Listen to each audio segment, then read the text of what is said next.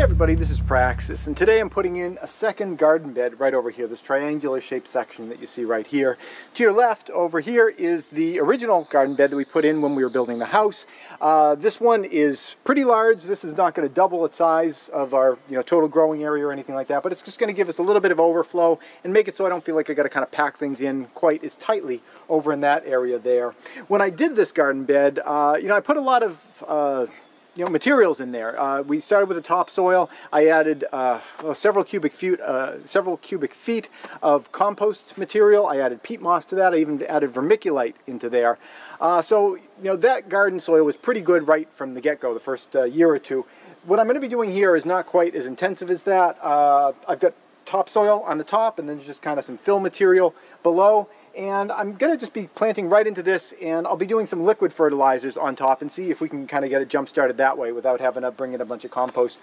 The reason for that is, you know, just it's really just time and money. You know, I, I, I don't want to have to order the compost to be delivered here and, you know, it costs a fair bit of money to do that. I'm going to see if I can wing it and uh, just you know, get this thing going kind of DIY on my own. And towards that end, the first plant that I'm going to be uh, growing in here, the first crop, is going to be pole beans. And that's why I'm putting in these posts at the corner. I'm not putting up a fence. I'm going to be putting up kind of a lattice of sticks, and that is going to give the beans something to vine up. What ha has been growing in here, in this area here, there's some grass, but mostly it's clover. And both clover and uh, beans, legumes, things of that nature are carbon fixers. They're going to be adding a lot of nice, no, they're not carbon fixers at all, they're nitrogen fixers. Uh, they're going to be adding a lot of uh, nitrogen into the soil, so I thought that would be a, a, good first crop right out of the door because it's going to leave the soil better for the next, uh, you know, the next crops that I end up putting in here.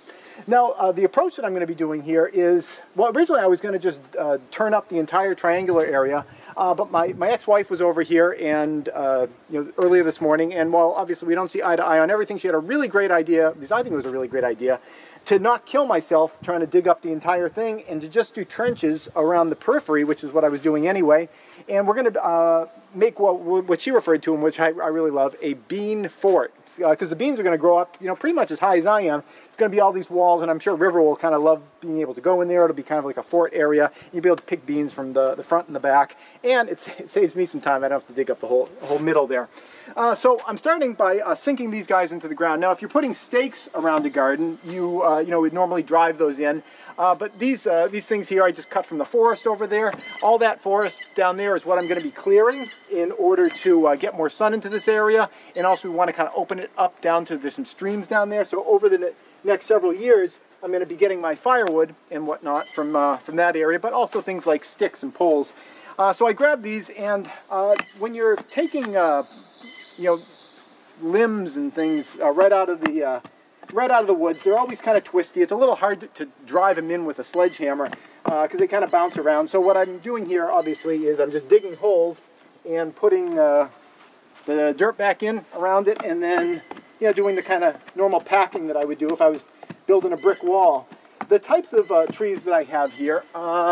You know, I'm not, I'm not 100% certain what that one over there is, but what these two guys are, and these are really great for this purpose, is poplar trees. Um, it's not like cedar where it's super rot resistant, but I've noticed whenever I use poplar uh, uh, stalks or limbs or whatever as a post in the ground, it takes a while for it to really rot out in the bottom. Uh, so I'm probably going to get a good two, maybe three or four years out of these uh, out of these uh, posts here before they you know rot and fall over, but they will eventually.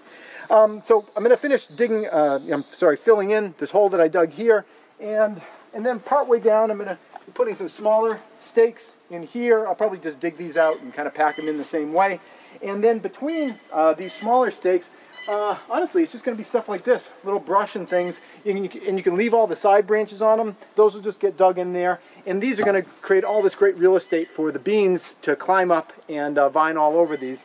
And the reason that I have these really strong ones on the corner is because uh, some of these smaller guys, uh, you know, they can kind of get weighted down by the beans. They may kind of want to uh, get flopped over by the uh, you know the weight of the beans after a while because uh, they do add up. You know, you get a lot of beans on there, a lot of a lot of plant and everything. And I have seen them, like especially in wind, they'll want to flop down.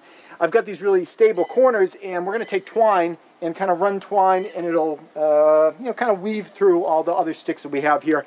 And these guys will be the anchors that'll kind of hold those things up. You know, if uh, the the vines want to take the uh, the post.